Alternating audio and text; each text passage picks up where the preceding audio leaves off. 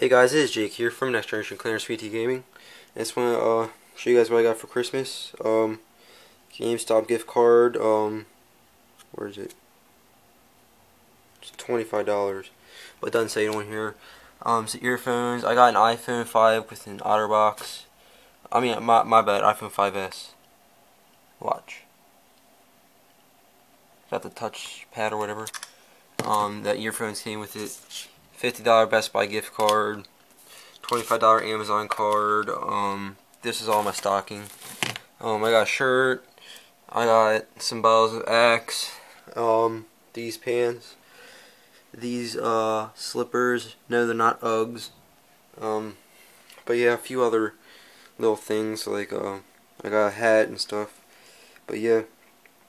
So uh, comment below on what you guys got for Christmas. If you guys like this video, please leave a like and don't forget to subscribe. See ya.